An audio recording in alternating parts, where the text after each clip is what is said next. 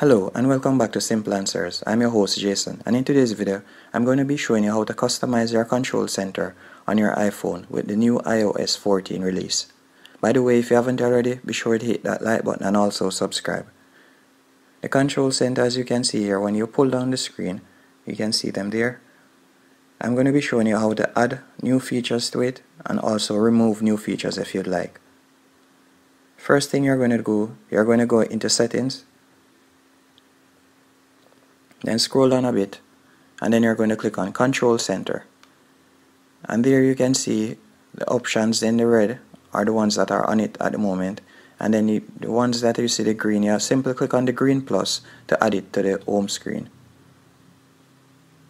To add it to the pull down feature. And you can add any one. You simply click on plus. As you can see I add notes. You can see the notes pop up and that's it. Hope you found this video informative. If you did be sure to hit the like button and also subscribe